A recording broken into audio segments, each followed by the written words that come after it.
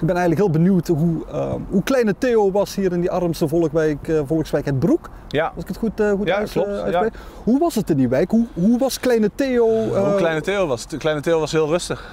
Okay. Kleine Theo was buiten, was aan het voetballen altijd. Dus eigenlijk dag en nacht op straat. Altijd bezig met de bal, totdat mijn vader floot. En dan wist ik dat ik naar binnen moest of dat ik moest eten. voor de rest was ik buiten en aan het voetballen. Had je toen al die droom om, om profvoetballer Nee, te ik heb daar nooit over nagedacht. Kijk, op een gegeven moment kom je bij Vitesse in de jeugd.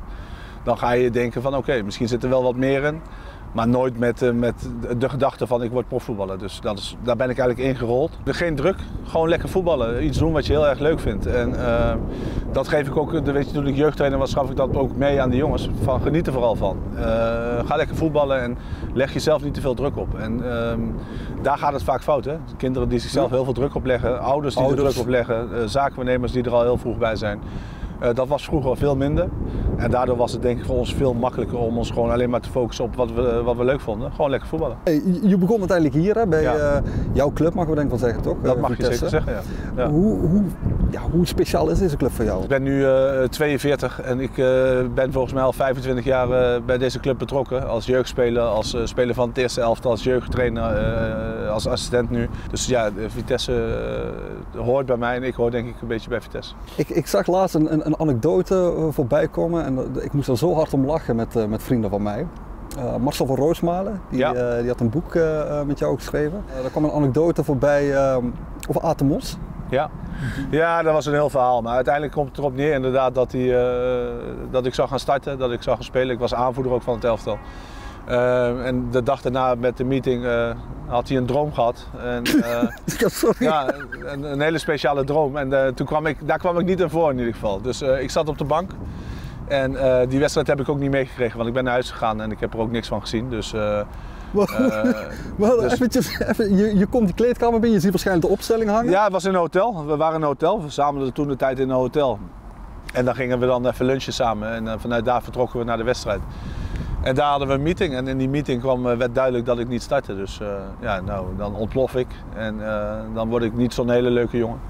En, Wat ja, gebeurt er dan? Word je dan gewoon echt, echt Ja, kwaad? dan word ik echt boos. Dan word ik echt boos. Dus dan is het goed dat er mensen tussen, tussen mij en de trainer in staan. Want anders ja, had het verkeerd kunnen gaan. En ik ben blij dat het niet is gebeurd. Want, uh, had je, had je? Ja, ja, misschien wel. Maar aan de andere kant, weet je, Aad, uh, ik heb hem daarna ook nog heel vaak gezien en gesproken. Aad is een fantastische man. Alleen dat was gewoon een hele grote fout van hem. En, uh, ja, daar heb ik hem uh, wel een paar keer op aangesproken. Je noemt hem knobbelneus? Ja, geen idee hoe ik hem noemde. Wat ik gezegd heb zal niet heel positief zijn geweest. Aad heeft verder niet meer gedroomd? Aad heeft waarschijnlijk nog heel veel gedroomd, maar ik denk niet meer over mij. dat durft hij Nee, niet meer, denk ik. nee. Hey, als ik naar je carrière kijk, hè, ja, je hebt leuke clubs gehad, man. Je Vitesse natuurlijk, Ja. eh, Ajax, Twente. Eh, je hebt ook een klein uitstapje naar België gemaakt en naar Ja. Genk, eh, als ik het goed heb. Ja. Wat ik, ook, wat ik mij ook kan herinneren is dat je heimwee had. Nou, dat is een bullshit verhaal die in de pers naar voren werd, die, de, die de pers heeft bedacht. En daar zijn mensen in meegegaan, maar ik heb absoluut geen heimwee. Ja. Dat, is niet de reden geweest dat je nooit eigenlijk echt in het buitenland hebt. Nee, eh, ik heb die reden niet. De, de reden was gewoon meer, ik, ik vond het fijn om, eh, eh, om mijn dingen daarnaast. Ik vond dingen daarnaast heel erg belangrijk. Ik vond mijn familie belangrijk, ik vond mijn vrienden belangrijk. Ik vond af en toe een feestje vond ik belangrijk.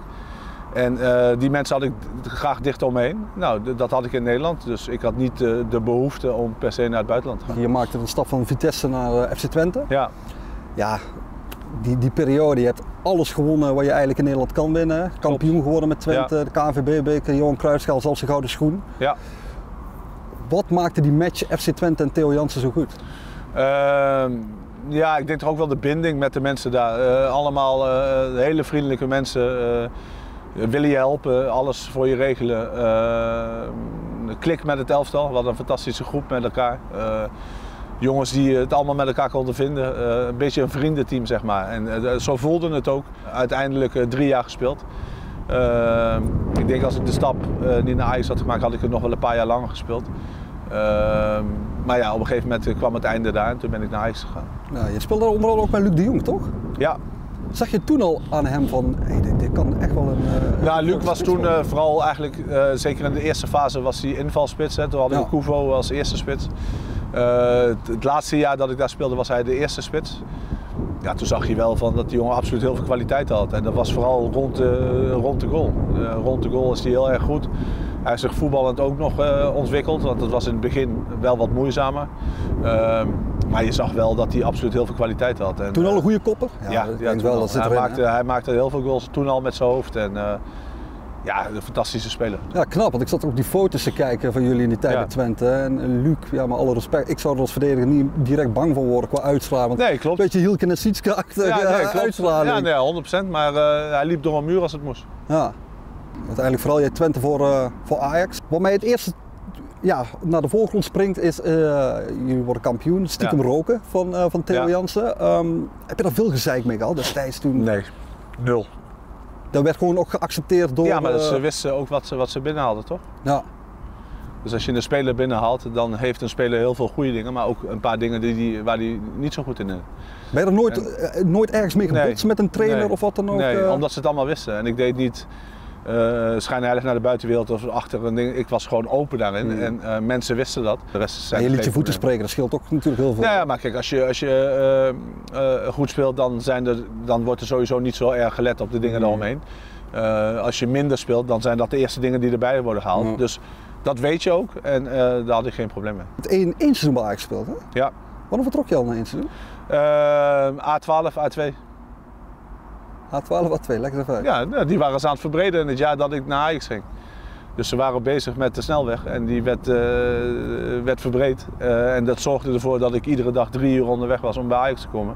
En als ik naar huis reed, was ik weer twee uur onderweg. Ik was na een jaar was ik er klaar mee. maar daar had het mee te maken. Ze waren echt uh, aan het verbouwen en het, het, het, irriteerde me gewoon dat ik eigenlijk zoveel in de auto zat. En had je ook niet zoiets van, dan, dan ga ik maar in de buurt van Amsterdam Nee, want ik vind, ik vind Amsterdam leuk voor een dag, twee dagen. En niet langer? Nee, het is zo druk.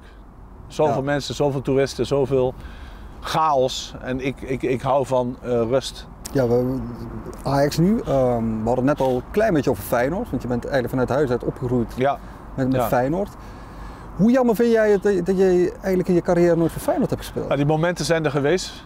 Uh, Feyenoord is uh, één, twee keer geweest. Alleen uh, ja, toen had het te maken met de problemen die er waren binnen de club, binnen Feyenoord, financiële problemen. dus dat, dat was, was, wel een dingetje. Want ja, ik had graag bij Feyenoord gespeeld. Ik denk dat ik daar heel goed gepast had ook. Maar had je dan zelf niet van, oh, dan doe ik zelf al water bij de wijn? En, ja, maar hoeveel water moet je geven? Nou, ik bedoel, als jij een, een, stap maakt van een club als SV Twente, wat, wat het heel goed doet, kampioen wordt, uh, voor de bovenste plekken speelt. En Feyenoord zit in de fase dat ze uh, zesde, zevende worden, omdat het gewoon echt slecht gaat met de club. Ja, dan weet je van ik kan er wel naartoe gaan, naar een hele mooie club. Maar dan ga ik eigenlijk achteruit. En je wil vooruit. Eigenlijk in, uh, als Feyenoord financieel er gezond uit had gezien, in zo'n ja, dan, had je, had misschien, je bij Feyenoord Misschien, misschien. Uiteindelijk heeft het... Ja, weet je, ik heb er niet gespeeld, dus ik kan van alles roepen. Lekker, als voor mij lag had ik bij Barcelona tien jaar gespeeld, maar dat ja. heb ik niet gespeeld. Nee, oké, okay, maar omdat nee. je vanuit huis wel een beetje ja, Feyenoord aan meegekregen. Ja, nee, maar klopt. Maar ik ben ook naar Ajax gegaan, omdat ik Ajax ook een mooie club vind. Het is niet zo dat ik een, uh, van huis uit Feyenoord ben, dat ik uh, uh, Ajax in één keer een, een, een, slechte club vind, of, leuk, of, of, geen leuke club. Anders had ik er niet gespeeld. Feyenoord zat meer in mijn hart dan, dan dat Ajax dat zat. Een van je bijnamen is ook de, de, de dikke prins.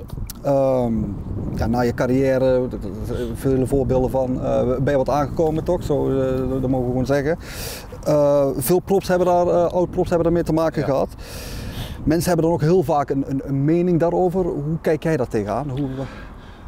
Dat boeit me echt helemaal niks. Ik denk altijd, kijk gewoon lekker naar jezelf. Weet je? En wat voor zin heeft het überhaupt om over iemand, over iemand anders iets te zeggen?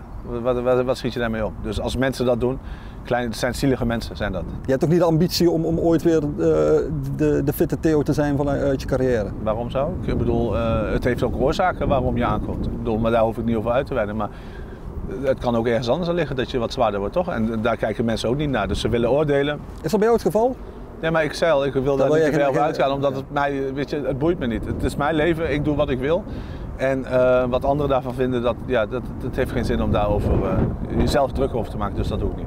Je bent nu assistent trainer bij Vitesse. Ja. Um, waarom wil jij trainer zijn? Ik vind het leuk om met, met gasten bezig te zijn. Ik wil dat spelers uh, beter worden. En als ik er daar een klein beetje bij kan helpen, dan doe ik dat graag. Hoe zou je jezelf omschrijven als trainer? menselijk. Dat dacht ik ook meteen aan. Oké. Okay. Um, jouw verdere ambities? Je bent nu assistent trainer. Ja. Wat, wat, wat, wat uh, was dat wil... Theo Jans over vijf jaar? Uh, daar op het veld. Bij Vitesse? Denk ik wel. Als trainer van het eerste? Gewoon hoofdtrainer? Als assistent. Je wilt geen hoofdtrainer worden? Misschien over een aantal jaar, maar nu nog niet.